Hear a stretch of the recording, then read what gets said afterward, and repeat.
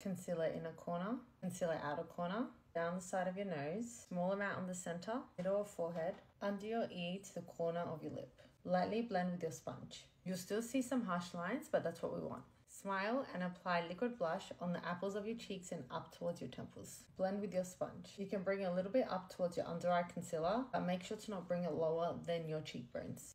Cream contour on your cheekbones from the top of your ear down to the corner of your lip and slightly bring it up towards the blush section.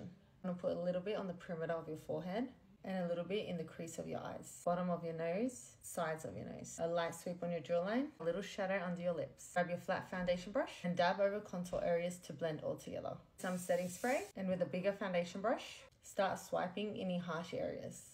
Set your under eyes, bake under cheekbones, and use leftover powder on your powder puff just to lightly set the rest of your face. Add a little bit of powder blush, glow on the apples of your cheeks, some purple, gel up your brow hairs, and you're done.